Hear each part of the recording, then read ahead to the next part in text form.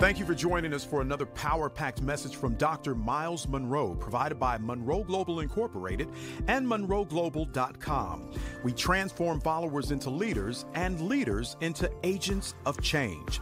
We hope that this message is a blessing to you as you advance your life and discover your purpose. Now, let's go into the message. I am very excited about this, this teaching today because I believe you're going to appreciate more than ever before the tremendous amount of gifting God has given you. We're going to be speaking on this subject discovering your personal kingdom leadership. Please take these notes. I'm going to give you some things to write down very quickly first.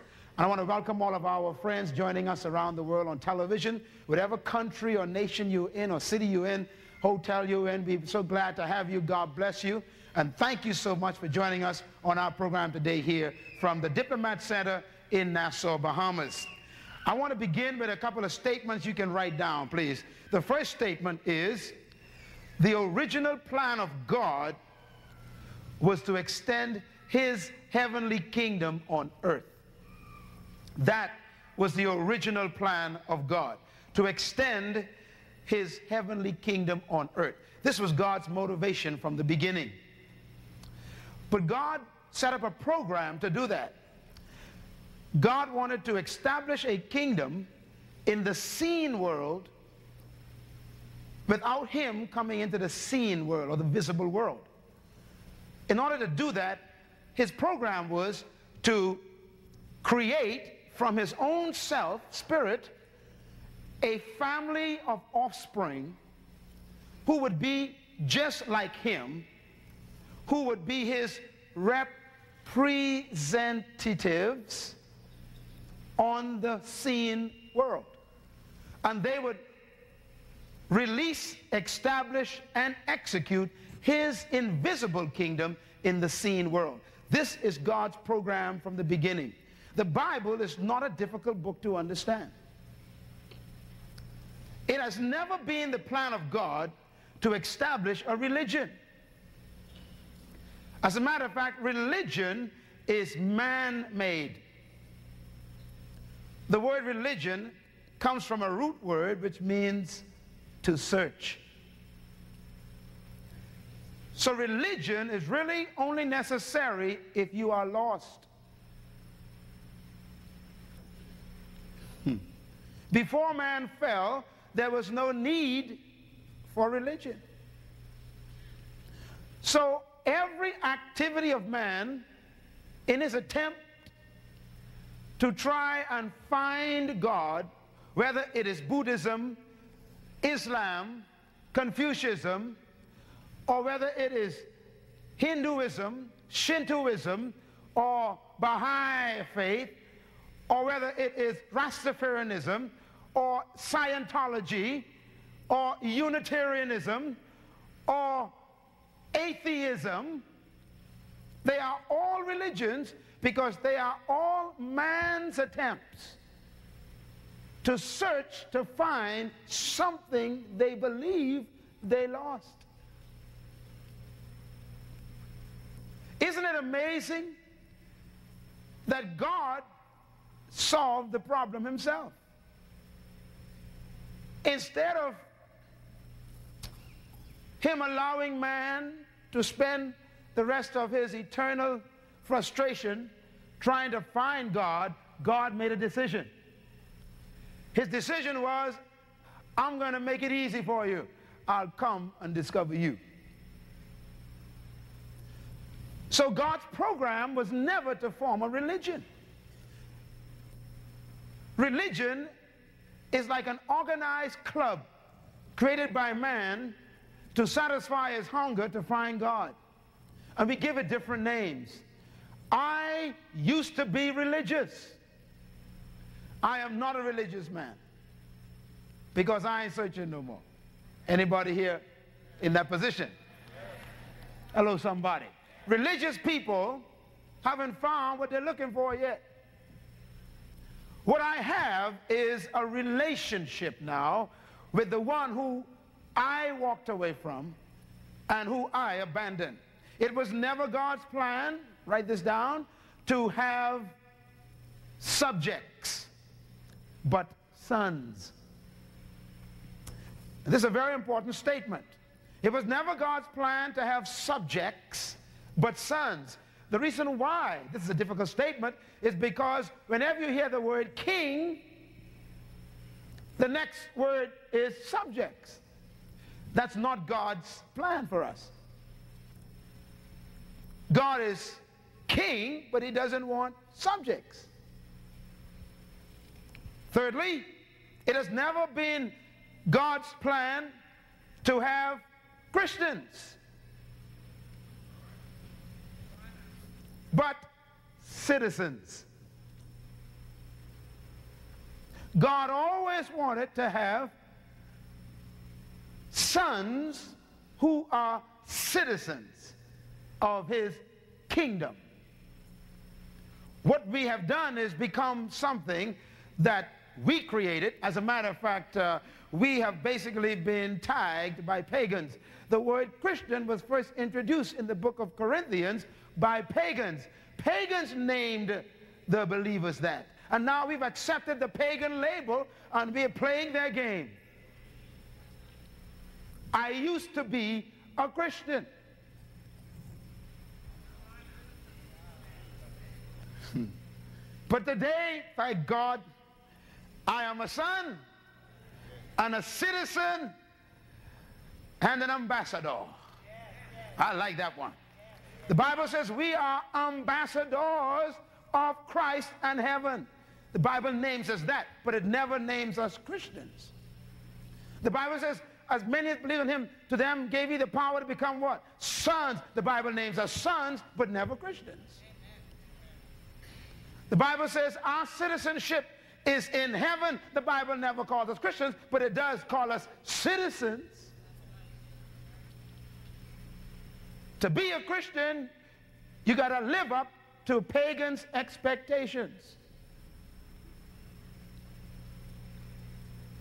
To be a son, you got to be like your daddy. To be a citizen, you got to represent your country. And to be an ambassador, you got to represent your government. But to be a Christian, you got to measure up to the pagans who named you that. That's why most sinners would say to you, I thought you was a Christian. Because they got their idea of what a Christian's supposed to be. Because they named you that. Tell your neighbor, he talking to you.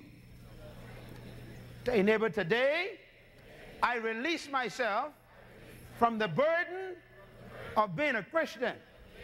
I'm going to be a son. Clap your hands and thank God. You delivered now? Delivered.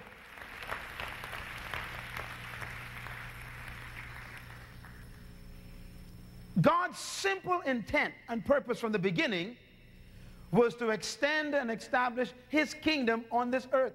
And his simple strategy was to rule the seen realm from the unseen realm through the unseen man living in the seen body on the scene. Can you write that down? This statement is probably the most important statement I say all my life. Because this is really the essence of the whole program of God in the Bible. Let me say it again. God's original purpose and intent was to rule the seen, that's the visible world, from the unseen, that's the invisible world, through the unseen, that's the spirit man, living in the seen, that's the body on the scene, that's the earth.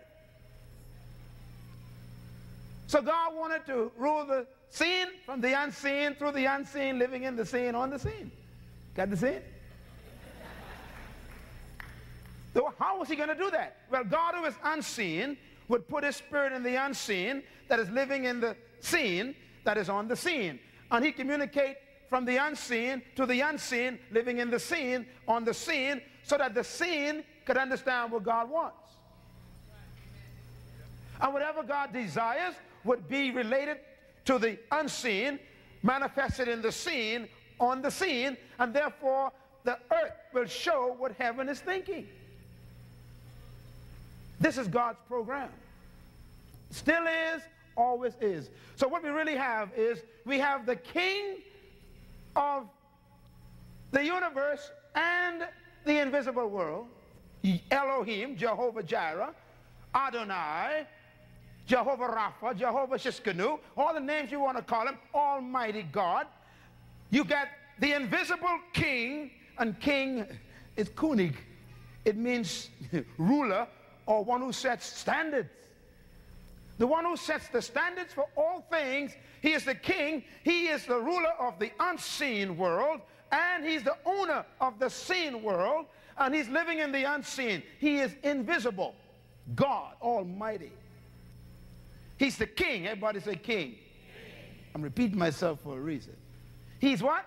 The king of everything. He's the king. He's the standard setter. He is the rule establisher. He is the judge of all things. He is the king. You cannot be a king unless there's something to king over. In other words, you can't rule nothing. Are you with me? In order to be a king, you got to have something to rule over, to set standards for. So what God did, before anything was, there was just God, because everything that is was made by God. So God, there was a time when God wasn't king, because there wasn't nothing to be king over. He was just God, Elohim, three in one, by himself, standing on nothing by the corner of nowhere. And this God his nature couldn't help itself. Because the first word introducing him in the Bible, the first word that describes him is this word, creator. God doesn't create, he is creator. So creating is a natural result of being a creator. So God created because he is creator. He didn't create so he could become creator. He created because he already was creator. Creation, creation and creating was his natural expression. And so God created everything. First the invisible world and then the visible world. And so automatically he became what? King. Because he now has what? Something to rule. Whatever a king rules is called his domain. Everybody say domain. Write the word down. So you got a king, but you got what? A domain. You can't be a king without a domain. You can't be a president without a country. You can't be a prime minister without a nation. So you need something to rule. By the way, that's why Lucifer has a problem. Because he don't own nothing. Y'all talk to me, man. So he can never be a king. That's why nowhere in the Bible is Satan ever referred to as a king. He's simply an unemployed cherub. So if Satan is ruling your life, that's illegal. If Satan is ruling your finances, or your physical body, or your family, or your home, or your neighborhood, Satan is illegal.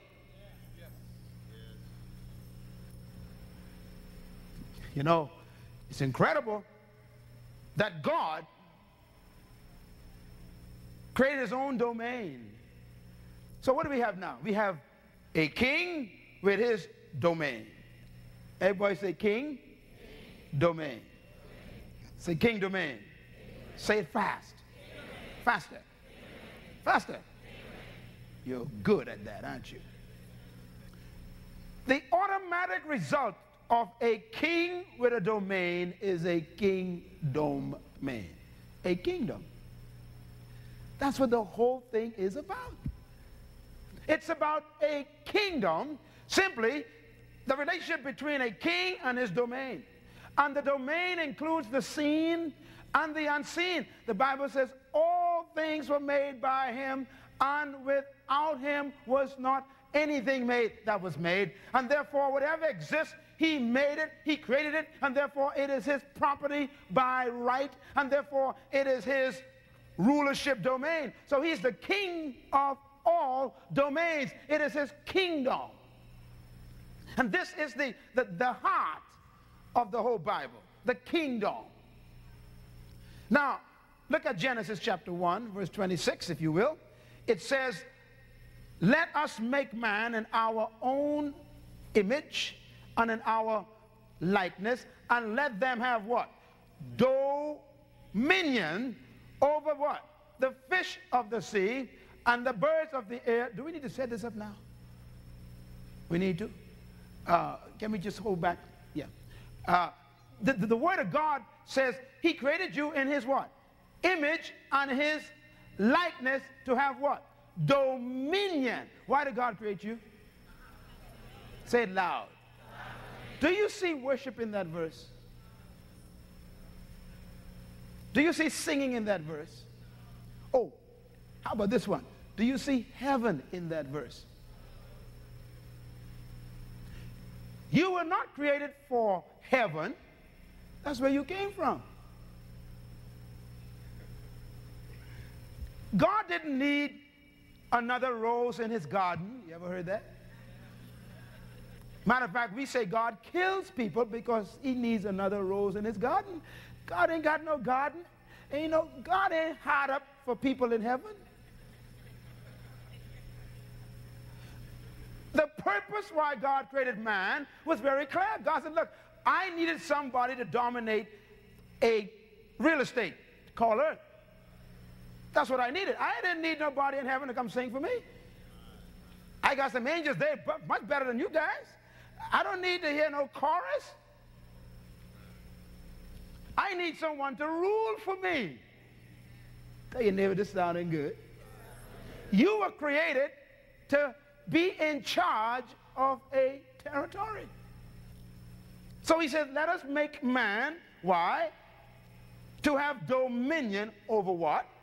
Fish, birds, read it there, cattle, plants, and everything that is in the earth. So God's plan was to create a creature that would have dominion or rulership over a domain called earth. That's clear to God. It ain't clear to us quite yet, but it's clear to God. And so God is very committed to what he's doing, and every human being was created, therefore, to dominate this planet. So trapped in every one of you is a dominion spirit and a dominion mandate. That's why you go crazy when you are dominated. Now, you're supposed to dominate the plants. The Bible says the birds. You're supposed to dominate the creatures, the animals, and all that's in the earth. Could you imagine a human who's supposed to dominate a plant being dominated by a plant? Tobacco leaf cocoa leaf, grape juice. How dare you tell me that you are a man with hair under your arms and big muscle, but a leaf from Colombia runs your life? I'm not impressed at your dignified walk in your high heel shoes and your fancy purse when a piece of leaf from Cuba runs your life.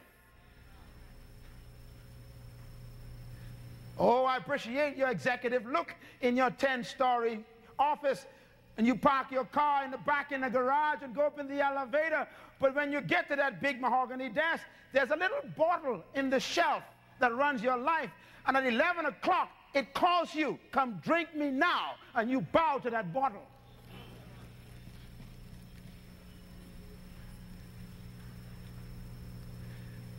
Could you imagine having your life ran by a tree?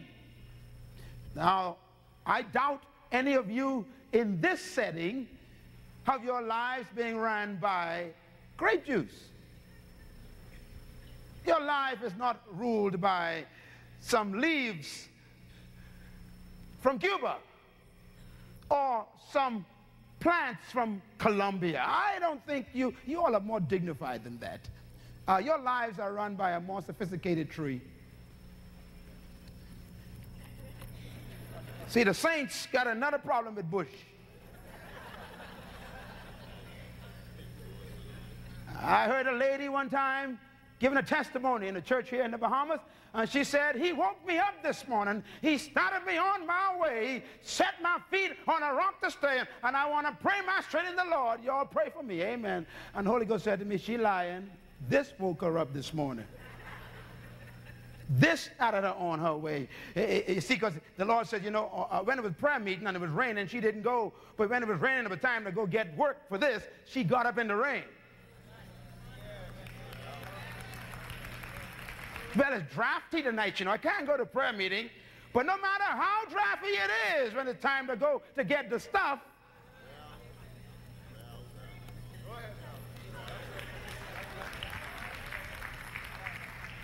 dominated by the thing you're supposed to dominate. No wonder why the first thing that happened in the church when it was born in the book of Acts, the first meeting they had, the first meeting they had, the people came and bought this and threw it on the ground and put it under the apostles' feet. Why? Because that used to rule them. Now they will rule it.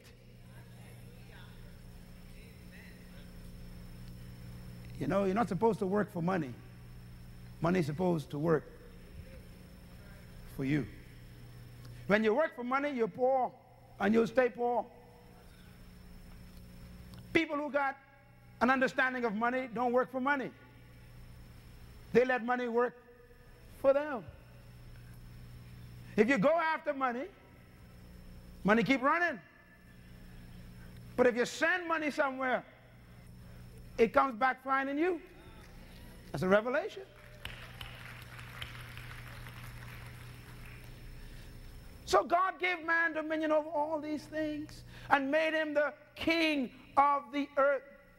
The word dominate means to govern, to rule, to control, to manage, to lead, to, to have authority over. God gave this man all this awesome stuff. And then man did something dumb. Now, let me tell you something, friends.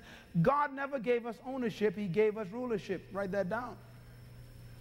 When somebody gives you uh, ownership, then you know, they are not responsible anymore. But if they give you rulership, they are still responsible. That's why God set up a qualification. He said, if you obey me and don't touch that tree, you can manage this planet all you want as long as you want. It's yours. So what God gave man was what I call a management contract of earth. He gave man a lease agreement. The Bible is very clear. It says, the earth is still the Lord's and the fullness thereof. It, it, was never yours. He gave it to you to, to manage under a lease agreement called dominion mandate. And therefore, what you do with the planet, you've got to give an account back to the owner. And how you use the planet and what you do with it, you've got to report back and he will judge us according to how we agree to run the planet. Turn with me, if you will, to a scripture that I constantly refer to. It's found in the book of Psalm, Psalm 115. Everybody turn there quickly, please. Tell your neighbor, I was born to rule this place. You know, whenever you see yourself being under control by the earth, you find yourself having high blood pressure, physical problems, because you're not built to be ruled by this earth. Your body rebels against it. Even your physical body becomes sick when it's under pressure of this earth. Look at Psalm 115. Young people underline this. This thing changed my life as a teenager. I never forgot reading this, and it changed my whole attitude toward myself and toward this planet. Here's what it says in verse 14. May the Lord your God increase both you and your children, and may you be blessed by the Lord, the maker of what? Heaven and earth. Now, the next verse is awesome. It says, the highest heavens, that means the highest means the ones above the, the, the, the stratosphere and the hemisphere. We're talking about the, the, the, the, the invisible, uh, the, the, the, the invisible world where God lives. He says the highest heavens belong to who? To the Lord. But the earth he gave to who? To man. Now, the Bible is telling you, you know, directly, look, heaven ain't yours. I'll fly away. God say, where? I don't want you up here. This ain't your territory. Let me tell you something. God made arrangements to make sure you never stay in heaven.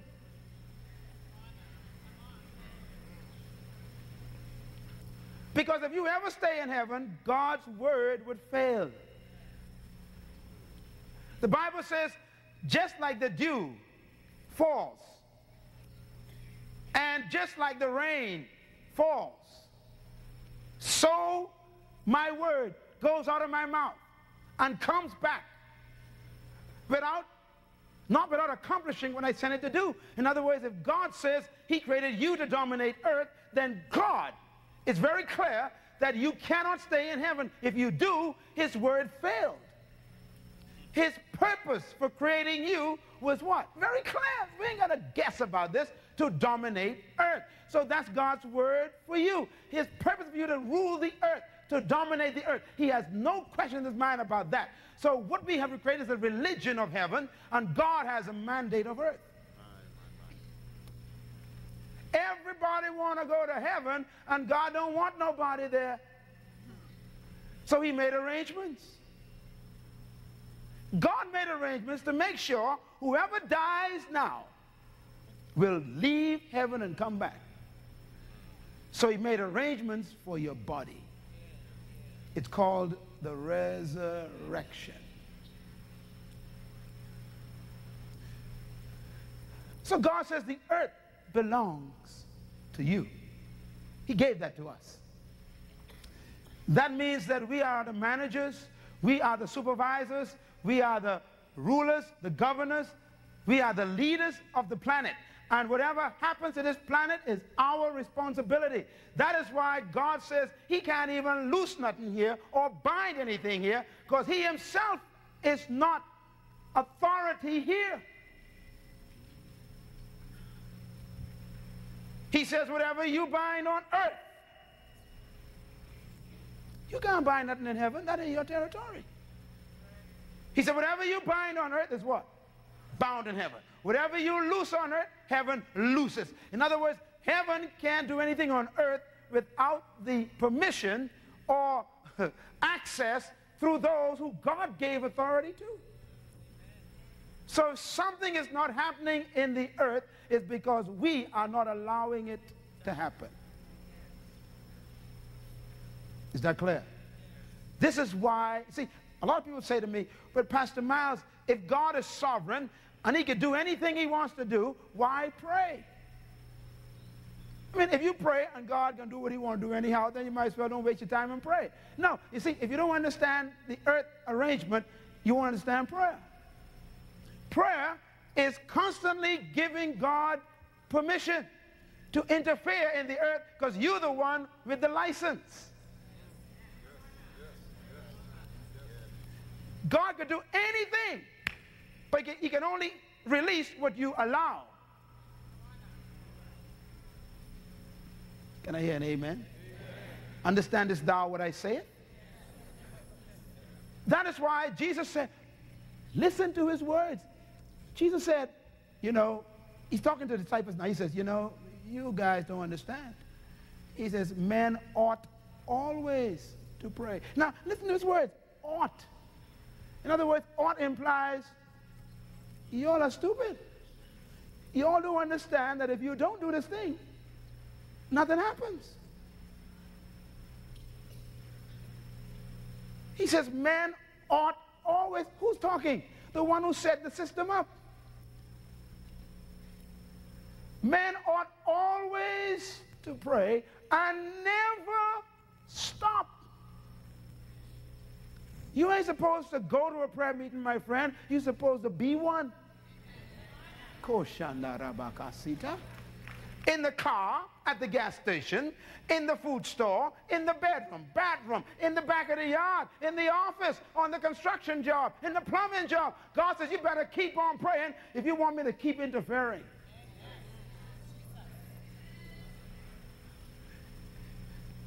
John Wesley said it this way. He said, prayer is strange. It seems as if without God, we cannot. And without us, God will not. We're stuck. So if you don't like the conditions on earth, then start making arrangements through prayer. Can I hear an amen? Prayer is not this, you know, this, this, this, this, ooh, spirit. Prayer is business. Hello? You're doing business with a government from whom you are the ambassador. And prayer is the medium through which you get your facts to come through. And your email. Prayer is how you get your, your, your flow of, of, of, of information and, and resources to come from the government. And the invisible government of God has access through your faith to come into the planet through your authority that he gave you so he can impact earth from the unseen. You can change your week this week by understanding prayer.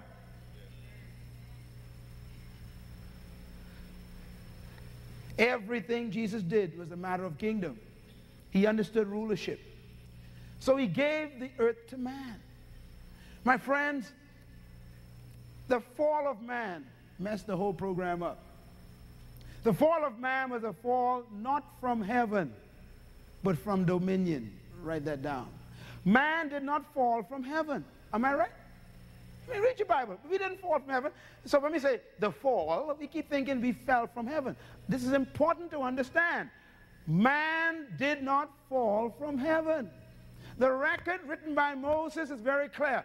Man fell from his responsibility of dominion over the earth. Satan did not say, Eve, if you pick the fruit, you'll fall from heaven. She said, if you pick the fruit, you'll be like God. Stupid request. They were already like God. By the way, the greatest weapon against anybody is self doubt. I'm going to repeat that again because that's a little heavy. The greatest weapon you can use against somebody is to make them doubt themselves. Self doubt has in it low self esteem, low self concept, self misconcept, low self worth, low self value, because you doubt yourself. When someone doubts themselves, they, be, they believe they cannot do what they're capable of. Satan planted what I call the, the, the idea of self hatred. That's why this ministry is so important. Our mission in the world is very clear. Let me tell you what our mission is. Our mission is to take a follower and make them think like a leader. Why? Because they are. But the conditioning from their past and their culture and their, and, and their environment have made them believe that they are not what they are. No member of this church should ever take a job without the idea that when this is over, I'll be in charge. You don't go, and listen, I'll never forget the meeting I had when I was in Malaysia. I went to a Sony company. And I was sitting down talking to a multi-millionaire group. I mean, but seven, eight of these guys, all millionaires, multi-millionaires. And we were chatting, and they were so happy to meet me because, you know, I was from the Bahamas, and, and my pigmentation was beautiful and everything, you know. And they were excited to have me there in Malaysia. And we chatting over the meal. I'm taking a break from the seminar, and one of them said to me, he said, do you know how I made my money? And he told me a story. I said, wow. He said, by the way, tell me this. Why do people of your pigmentation, any country we go into, we make money, but when we go there, we, don't, we see y'all, y'all don't seem to quite break through. I said, I don't know. Tell me. He said, I finally figured out when I went to America. It's guy from, from, from he, he was from mainland China in Malaysia, working for the Sony company as a consultant. He said, when I went to America, I noticed all the cities I've been through. Every time an Asian comes into the town, he ain't got nothing. But in a few months, he own a business. And he says, and your people of your beautiful pigmentation, they've been there for a thousand years. And they own nothing. Keep, looking, keep listening to me. Keep listening to me. They don't own nothing. He says, and I tried to figure out. He said, because I know you all are hardworking people. He says, and after studying this for five or six years, I finally figured out, he says, you know, as I talk to your people, I finally figured out that we have different mentalities. Not abilities, mentalities. He said the difference between us is when we go into a city, we think differently. He said, for example, when you people go into any city, you go looking for a job. He says, Chinese never look for jobs. He said, when we go into the city, we go looking for a business.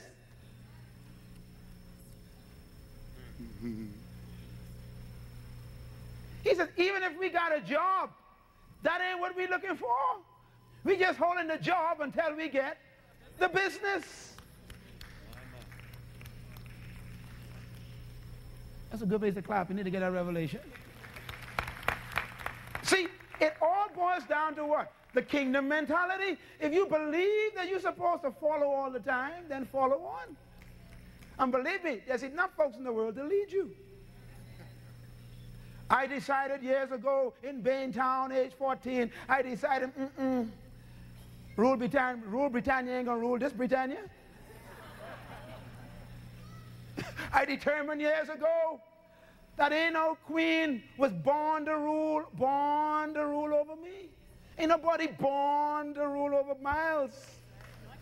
You ain't born, you can't be born good enough to rule over this good stuff. You ain't got what it takes. Only God could rule over this. Oh, I feel myself this morning. See, and Satan said to Eve, You are not like God. I'm coming here this morning to tell you and to tell you watching the television program that you are like God. God didn't make in the image of some dog or some monkey or some chimpanzee or any kind of these evolutionary ideas. He made you in his own.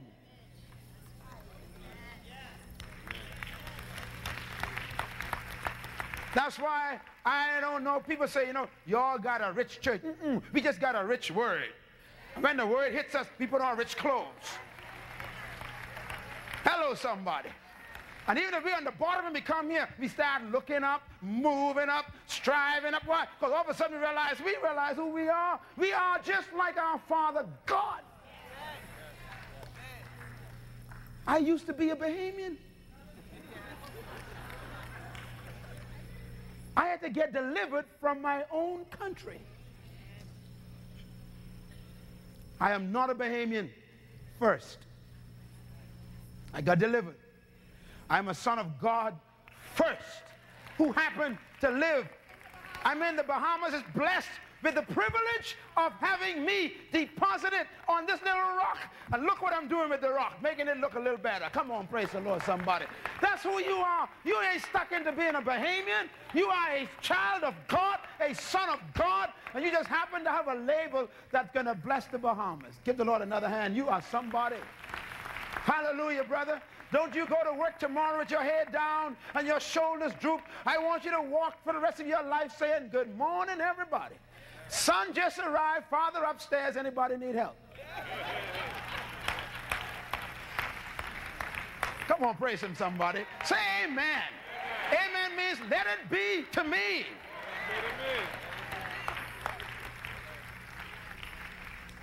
Boy, God says, My kingdom belongs to you. He gave us his kingdom over the earth. What an awesome responsibility. So no plant should rule your life. If you are smoking cigarettes, stop now. Don't let a leaf run your life, man. Don't do it. And you young people, don't even let no one encourage you to let a cocoa leaf become your master. As a matter of fact, you ain't got to fight against not taking drugs. That's below you. And it's supposed to be there, below you. You're supposed to dominate that stuff. Paul says, uh, I will become mastered by nothing.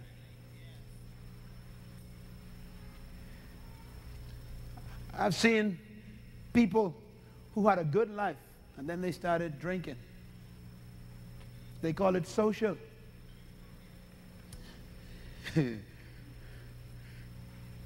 and they started smoking and they call it peer pressure. And they started taking drugs and they call it fitting in. What a tragedy. Then there are those who are controlled by sex, lust. And some of you still fighting with that one. How can you be controlled by an industry when you're supposed to rule the world? Some people are controlled by their genitals. And it's dirt.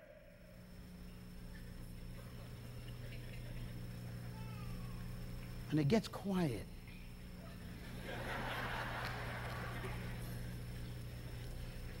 Take charge, be the king, even the king of your genitals. Oh, that's a good place to say amen. Y'all missed it. If someone say, let's go to bed, and you ain't married, say, hold it a minute. I can't go to bed. Why? I'm a king. What? I'm a king. So what's that got to do to go to bed? Well, I rule everything.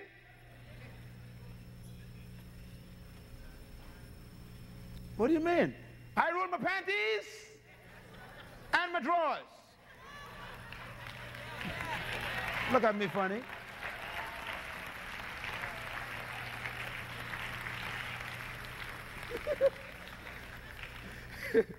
JC. yeah. Boy, pastor something else. Now I, we got to talk straight to these young people too, and the old people.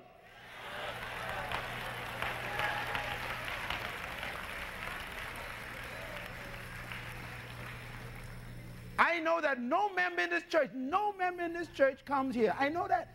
I talking about other people in other churches. No member in this church comes here and says, I love you, Lord, and they sleeping around. I know that ain't happening. I know ain't no lesbian in here. I sure, guaranteed, ain't no homosexuals in here. I know that. Sure that. No question about it.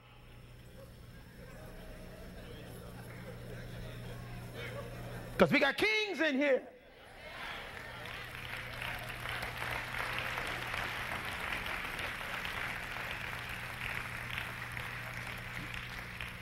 Does the Lord speak to you?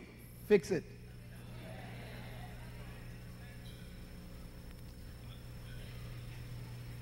We are kings, man.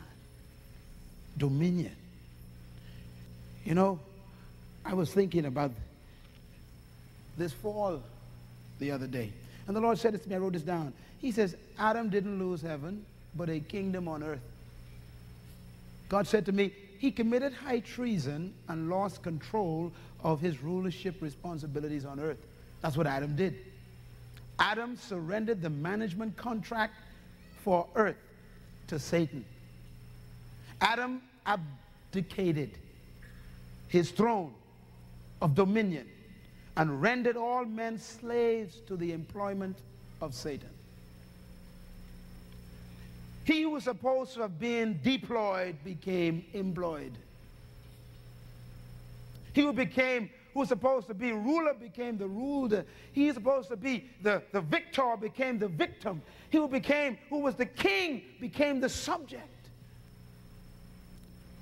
So when man disobeyed God's command, he lost not only sons, he also lost a kingdom on earth. God lost both. That's why when Jesus came, God in the flesh, he tried to explain what happened. to us. He had to use a story we could understand. So he said there was a father who had two sons. And one of them decided to go his own way, take what he wants, and go. And he ended up in a pig pen eating pig food. And one day he came to himself and, and said, My father is a king with servants. I will go back to my father and I will ask him, I know I've messed up, so just make me a servant. At least I'll be eating some good food. And I'll be at least in a house. But let me be a servant.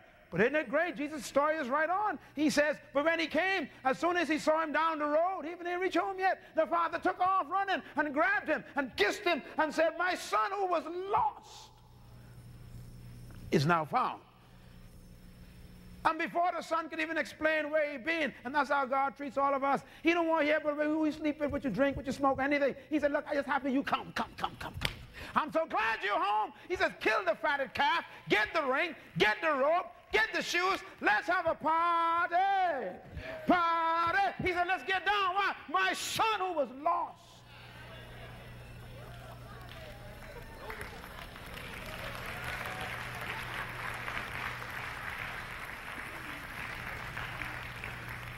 God is, God is so excited that his son came home. The problem is we have accepted the contract that the son wanted, not the one the father gave him. We want to be servants of the Lord. That's what a Christian is. A servant of the Lord. Christ says, I call you no longer servants, but what? Friends. Why? We're family. You know, Christ is your Savior by, by circumstance but your brother by natural genealogy.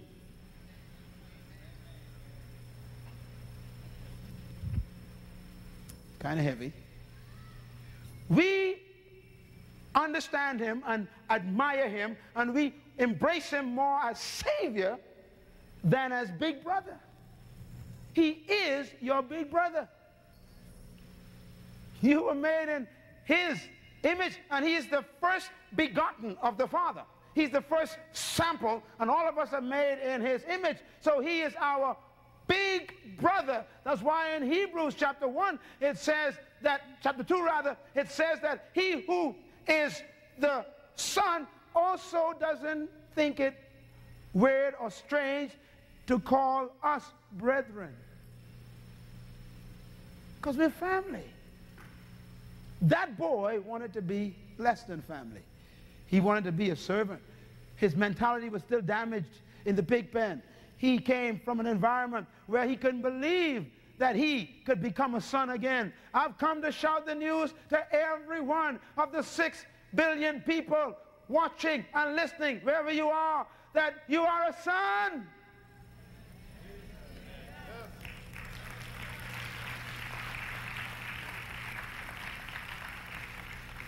You know, if you're lost and you're my child, you're still my child.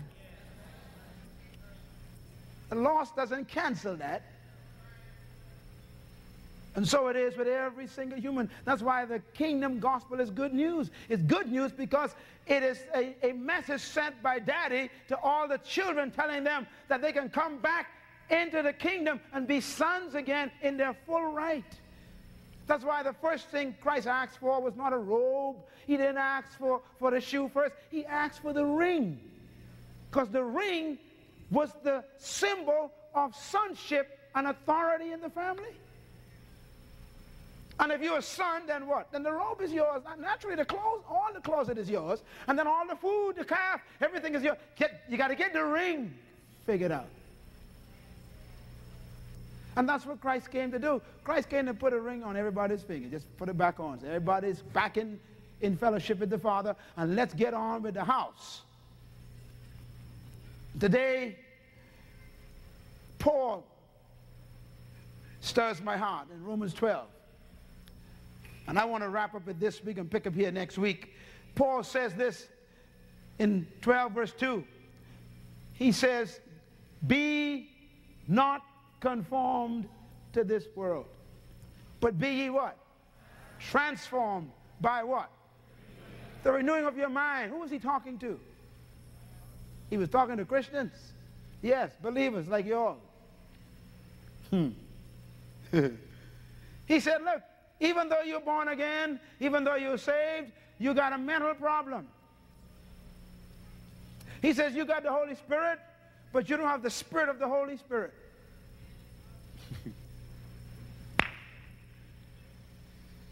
you got the anointing, but you ain't got the spirit of the anointing. And I'm talking to myself too. I had to fight with this. I, I was a Christian and I was complaining about Christianity. Anybody do that? I say, man, yeah, I love God and everything, but boy, why is so, life so terrible? I thought God was a good God. Why is everything bad happening to me? Why can't I make it in life? I mean, all these wicked people moving ahead, taking everything that belongs to me. And I'm praying and believing and fasting all day, and I ain't got nothing. God, what's wrong here? God said, Ain't nothing wrong with them wicked people. They're just your sons and daughters who don't know the, the Father yet. Something wrong with you, even though you're saved. What's wrong with you is you saved, but you're mentally damaged. So Paul is writing this to the Christians. and verse 1, he says, What? I beg you. Other word beseech. Look at the word there. Beseech, he means I beg you. Paul was begging them.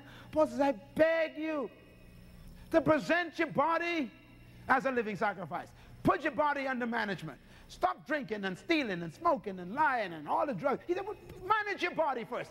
Get that in order. Why? Because that's your legal house.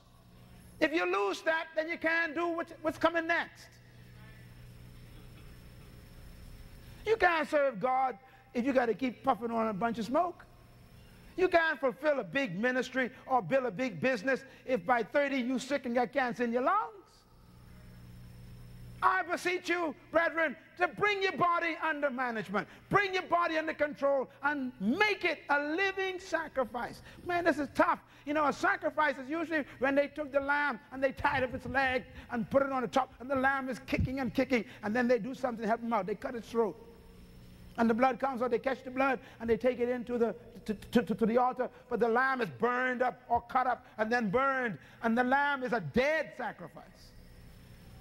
Paul says, no. He said, see, we can't tie up and kill you, so you got to be a living one. When your body want to go back into stuff, he said, take your body, come here. See, you can't cut it off and kill it, so you got to keep, bring it under control, see? Don't call your old boyfriend no more. You know he ain't good for you. Cut that thing off. Yes. And stop sleeping with your ex-husband and your ex-wife because they done married. Again. Bring your body under subjection. Shut down them pornographic videos. Burn them up. Shut that life off. Bring your body under subjection. Don't let no boy touch your breasts or no girl touch your genitals, brother. You bring your body as a living sacrifice. Look, I got to keep my body pure. And I'm telling you, friends, God could see everything. Why am I going here? I don't understand this this morning. God can't bless you if you're shacking up and doing stuff with your body. He said, bring your body under subjection. Today is the 28th day of, no, of January. Fix it today. Clean it today. Stop it today. Make a decision today to live clean in your body. Make a phone call. Call it off and shut it down. Tell them don't come back no more. Do something. Amen. Fix it. Bring your body as a living sacrifice. And then he says, be no longer conformed to this world's way of thinking, but be ye what? Transformed. How? By the renewing of your mind. See, we got to learn to think again like kings. Kings. We must have the spirit of kingship. Attitude of kingship. And that's why the whole thing about Christianity, as you call it, is really about leadership. It's about rulership. It's about kingship. It's not about low and humble and poor and all that stuff. It's about taking over again. Let me, let me close with a verse that I thought was very interesting. This verse found in, in uh, Matthew. We can, we can deal with this next week. Tell your neighbor, boy, that Papa's pastor preaching good. I preaching good. I preaching good. Praise God. I preaching to myself. Hallelujah. Matthew 25. Watch this. Woo, I love this verse. Love this verse. Matthew 25. Everybody got it? Come on, everybody turn there. I want you to read this for yourself. This is deep stuff. Matthew chapter 25. Jesus is explaining to the people how this whole thing's supposed to end. And he says to them in chapter 25 of Matthew, let's read verse 34. The king, oh, I like that. Woo, he said the king. Yeah, hallelujah. The king. The king, praise the Lord. Let's read verse 31. Get a context. When the Son of Man comes in his glory, everybody say glory. glory. What is glory? Full weight. Boy, that's a deep statement. Now you can see, understand it now, right? Yeah, isn't that great? He said, uh, when the Son of Man comes in what? His full weight. See, y'all didn't see nothing yet, he says. But when he come in his full weight, all the angels with him, he will sit on what? His throne. Last time we saw him, he was on a cross, bleeding. That wasn't his full weight. That wasn't the real thing. He coming as a king on a throne in heavenly what? Full weight. That means heaven going to show its full weight. Wow. All the nations will be gathered together, including the Bahamas, Jamaica, Barbados, America, Canada, England, Argentina, Chile, Swaziland, Namibia. He said, I'm going to bring all, my Lord, every nation can be gathered unto me. Watch this. And he will separate the people one from another as a shepherd separates the sheep from the goats. Now, it didn't say we were sheep and goats. Hmm. It says the way the shepherd does that is the way he's going to do that. Now, do you know how shepherds separate sheep from goats? Let me tell you how he does it. When you go to, to, uh, to the to land of Israel, we've been there many times now, they, got, they still got farms there just like they did in the day of Jesus, and they got many shepherds all over the place. You see them all over the place with sheep following them. And they got goats as well. Now, the way you separate a sheep from a goat is this way. Watch this. When the sheep and goats go out to graze, the shepherd take all of them together. And they are always mingling together, eating the, eating the, the, the grass. So they all together. When they get back to the home, to the farm, they got the big pens to put these animals, fences and so forth. And so the shepherd does something. He stands in the front of the mass of sheep and goats.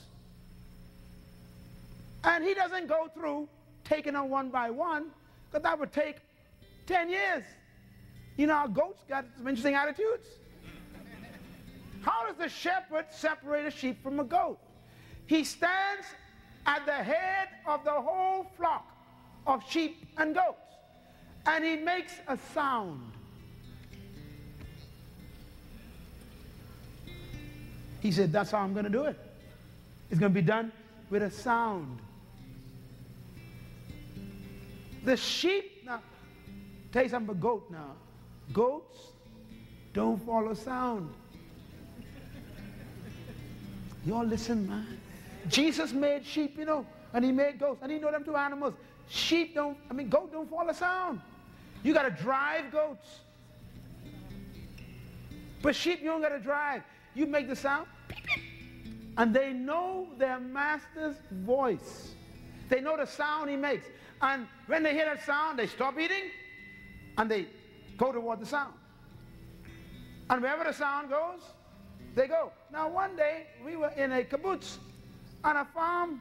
Uh, the, the sheep came down with the shepherd, walking, and was a beautiful scene. My wife and I were shocked. The beautiful scene. The shepherd just goes. I mean, we saw what we saw paintings of. It's real. The shepherd walking, and he looking back, and the sheep on a straight line. All of them walking right behind him in the Holy Land. I said, My God, there's a postcard. And he came right near to us because we were standing there with Ben Kinchlow and other people. We were all admiring the sunset in Bethlehem. And the shepherd came right by. And guess what? All the while he was walking, he's making a sound. Never look back. And it was the sound of that specific shepherd for those specific groups of sheep. Christ says, when I do this thing, I'm going to make sounds. Man, you don't talk to me. See, all y'all sitting together, I know who's goat. All y'all ain't hearing my voice.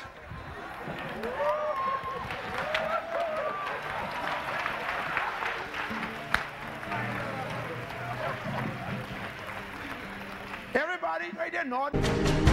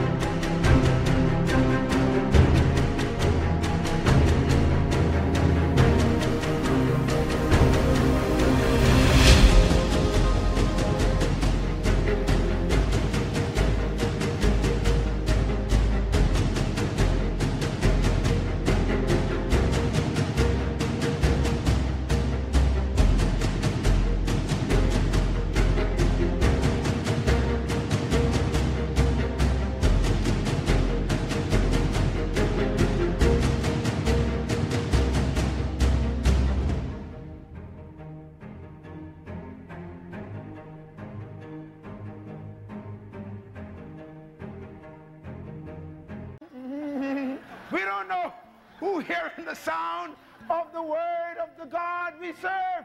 God has a voice.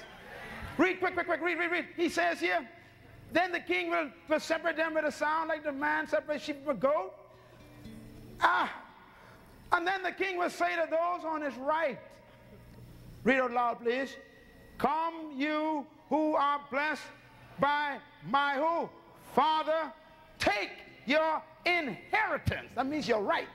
The kingdom which was prepared for you before the world. Stand up on your feet and shout, somebody. If you can hear his voice, bless him with a praise offering this morning. Thank you once again for listening to this message as we hope that it has been a blessing to you. Our goal is to show you new paths and opportunities so that you can discover your purpose. It is your love, support, and partnership that makes Munroe Global possible. Please visit us online at www.munroeglobal.com for more product, partnership, or to join us at one of our live events around the world.